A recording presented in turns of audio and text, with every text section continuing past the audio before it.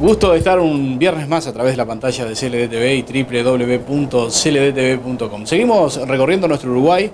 De hecho, próximamente vamos a estar visitando nuevos lugares, como por ejemplo una estancia turística, una casa de campo en el límite entre Tacuarembó y Rivera, que data de 1878. También les vamos a traer la otra cara del norte, la forestación allí en Tranquera, que pasó a ser la capital de la sandía para transformarse en la capital de la forestación. Algunos de los lugares que próximamente ustedes van a tener en la pantalla de CLDTV en Uniendo Caminos. Pero ahora nos vamos a La Pedrera, que pasó a ser de un balneario tranquilo, con no mucho movimiento, a tener el carnaval más popular del Uruguay. Bien, vamos a compartir la primera parte.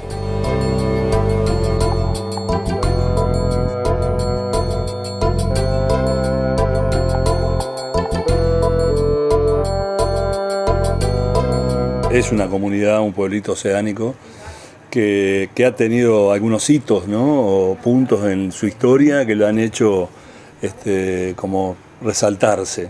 Este, y, bueno, creo que es propio de estos lugares así con esta belleza natural tan linda, tan, tan, tan, este, agreste. Como, es este, acantilado, esas piedras, esas plantas tan naturales que tiene la costa acá de Rocha.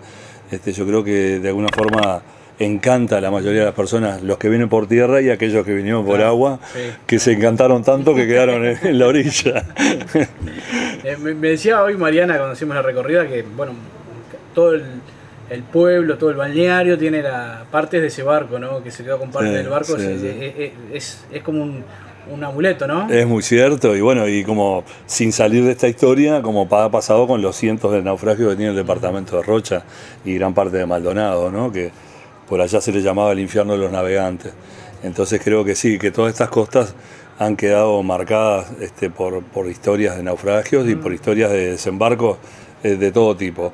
En el caso del Catay, que es al que tú te refieres aquí en La Pedrera, este, eh, fue por los 70 largos una historia bien particular que seguramente este, todos los que de aquella época nos recordamos en Uruguay, todo lo que es un, naufragio, un barco en la orilla, este, una aparente desgracia que después es menos desgracia porque en realidad no cobra vidas y bueno, este, pero que marca realidades, ¿no? Y gente que ha quedado acá en la vuelta o familias que de alguna forma tuvieron contacto con esa gente y hasta el día de hoy son referentes ¿no? de aquellas historias.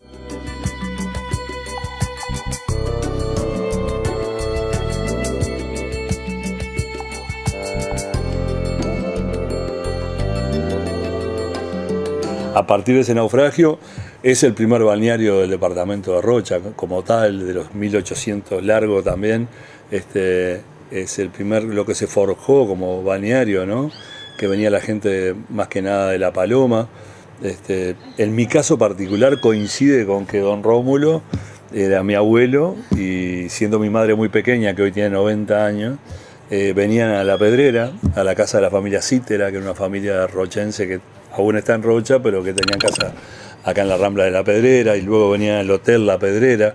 O sea que estamos hablando de 70 y pico años para atrás, 80, este, ya había eh, movimiento, me consta, digo, por historias familiares. Este, creo que es un lugar, sí, con muchísimas historias e interminables, ¿no? porque cada familia de las que están acá en la vuelta tienen algo para decir de todo este lugar tan, tan histórico, tan bonito.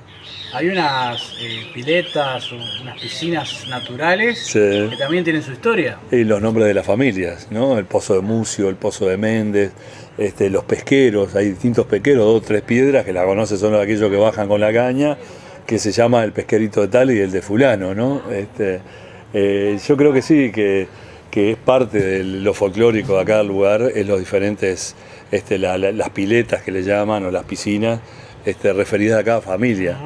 Eso bien marca de que esa familia, tanto Méndez como Mucio, este, venían por todo el verano, traían, eh, según se cuenta, eh, de todo para pasar el verano, de las gallinas hasta lo que hubiera, y, pasaban realmente temporadas y, y veraneaban en esos lugares, ¿no?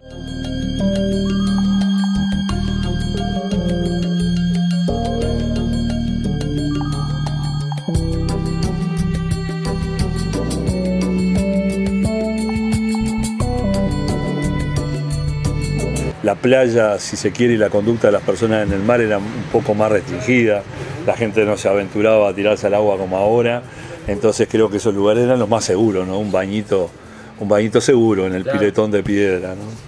¿Cómo se explica, y ya viniendo al presente, que una localidad con 100 habitantes fijos tenga el carnaval más popular y más concurrido de todo el país? Bueno, eso es em, la naturaleza del marketing, ¿no? Yo creo que la, el, vuelvo a decir, la pedrera sigue teniendo cuando a la hora de comunicar la gente escucha. Este, ha tomado ese camino, la gente le da un lugar a la hora de la comunicación.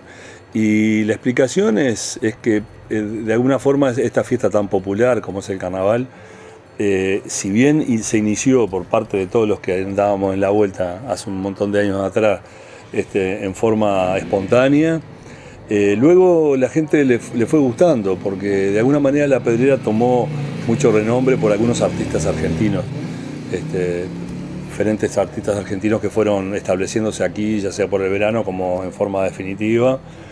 Y bueno, eso le dio un lugar en las revistas del Río de la Plata, este, fotos, este, algunas historias de amor que ocurrieron con, personas que habitan por acá, con gente del extranjero.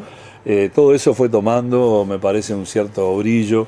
Después músicos que vinieron al carnaval y fueron desarrollando su arte un poco en las, en las comparsas este, hogareñas.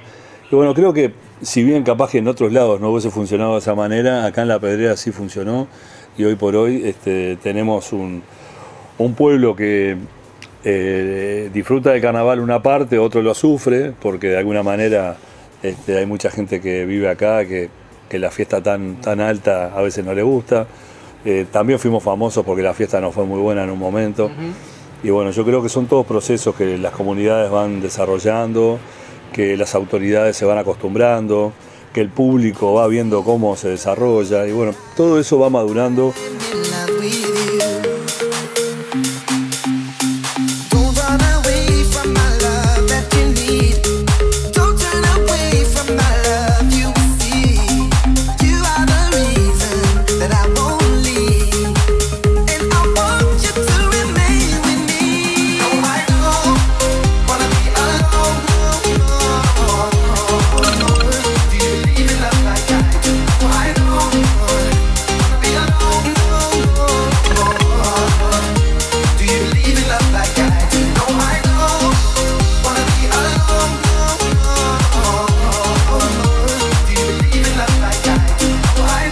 Parece que de a poco hoy tenemos algo con una identidad diferente a la del origen, pero que la gente la conoce y para lo que es comercial evidentemente tiene muchísima importancia.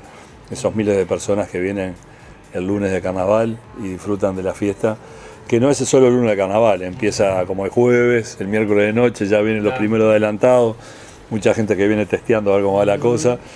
Y, bueno, jueves, viernes, sábado, domingo de carnaval son días agitados que en general nosotros siempre recomendamos y esperamos que la gente venga a divertirse, a pasarla bien, a vivir y dejar vivir, que es lo más importante y lo más lindo. Y disfrutar un poco de la naturaleza durante el día y del fiestón este, cuando se presenta en la noche, que es un poco lo que viene ocurriendo. ¿no?